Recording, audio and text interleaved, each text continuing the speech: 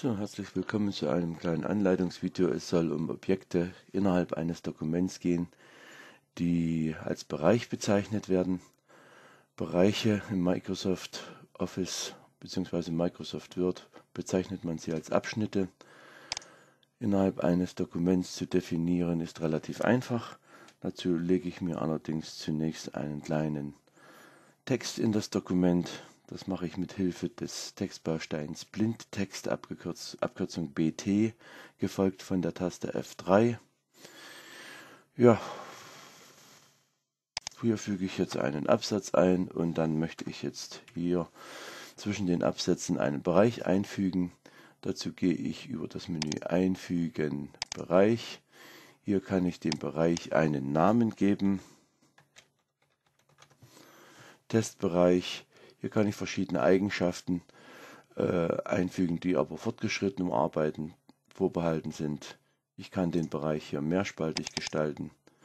Ich kann natürlich den Abstand zwischen den Bereichen hier auch festlegen mit 0,5. Automatische Breite bedeutet, dass jetzt die Spaltenbreiten entsprechend angepasst werden. Wenn ich das nicht haben will, könnte ich jede Spaltenbreite und auch die Abstände sehr individuell hier vorgeben.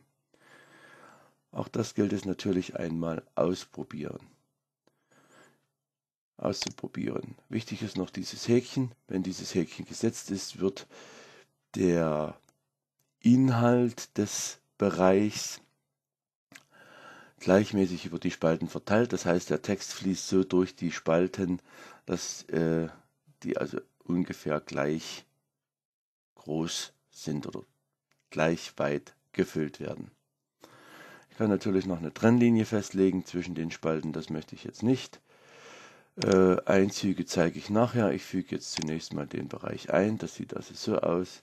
Wir sehen, den leeren Absatz hätte es gar nicht gebraucht.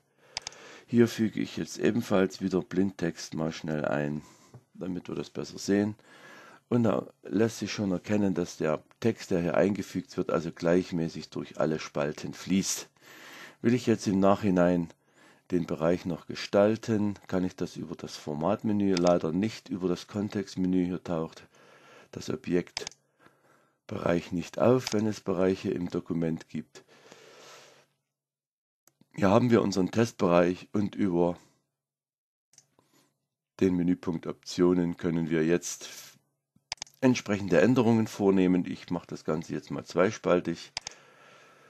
Okay, dann sieht es also so aus.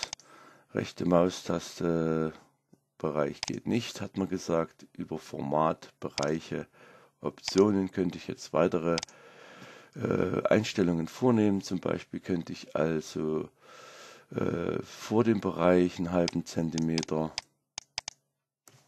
Platz lassen wollen und nach dem Bereich einen Zentimeter. Okay, dann würde das also so aussehen, dass hier rechts und links von dem Bereich entsprechend eingezogen wird. Weitere Eigenschaften zum Bereich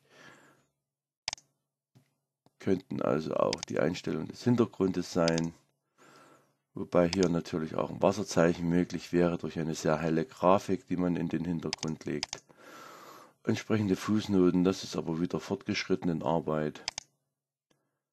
Okay, jetzt haben wir also einen farbigen Bereich. Äh, interessant, wenn ich also jetzt den Bereich einspaltig einstelle, dass dann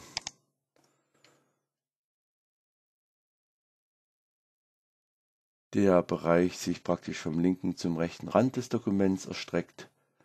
Was ist jetzt hier passiert? Ich hätte normalerweise, ah jetzt, nicht passieren sollen. Ich habe einfach hier oben auf die Entfernen-Taste gedrückt und dann Steuerung Z. Dann sehen wir, dass also hier links und rechts vom Bereich der Einzug sich auf, den, auf die Absätze auswirkt. Ich kann ja hier nochmal einen Absatz einfügen, das bleibt also dabei. Auch interessant, wenn ich den Bereich lösche, bleibt der Bereichsinhalt natürlich erhalten. Manchmal übernimmt man Dokument, äh, Inhalte von Dokumenten aus anderen Dokumenten, da möchte man das nicht, dass die hier in Bereich gegliedert sind. Für den Fall, Entschuldigung bitte, für den Fall kann ich einen Bereich hier auswählen, einfach entfernen, okay, und dann sehen wir, dass der Inhalt des Bereiches erhalten geblieben ist, allerdings die Bereichs, das Bereichsobjekt, in das er eingefasst war, jetzt hier gelöscht wurde. So, es gibt viele Anwendungsmöglichkeiten. Oft hat mich der Bereich oder haben mich Bereiche gestört, insbesondere wenn ich also Texte aus Webseiten übernommen habe. Die habe ich dann einfach in der letzt, zuletzt gezeigten Art und Weise entfernt und erhalte dann einen sehr schönen durchgängigen Text, mit dem ich weiterarbeiten kann. Z. Ah ja, ich hatte es noch markiert. Ich wollte eigentlich nur hier den Absatz entfernen. Ich hätte natürlich die Markierung erst aufheben müssen. Dann kann ich mit der Entfernen-Taste auch den Absatz entfernen.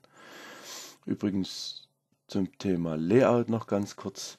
Wir sehen also hier keine Abstände zwischen den Absätzen. Das ist jetzt sehr unschön. Das ist eine Einstellung der Vorlage Standard. Wenn wir den gesamten Text mit Steuerung A markieren und anstelle der Standard-Textvorlage die Textkörpervorlage nehmen, erhalten wir immer einen schon standardmäßig, also von vornherein wesentlich besser strukturierten Text, bei dem auch ein kleiner Abstand zwischen den Absätzen vorgesehen ist und auch die Zeilenabstände etwas größer sind. Das sind aber Eigenschaften von Absätzen, rechte Maustaste Absatzeigenschaften. Das kann man natürlich entsprechend hier einstellen. Der proportionale Zeilenabstand, wenn er stört, kann auch auf einfach gesetzt werden.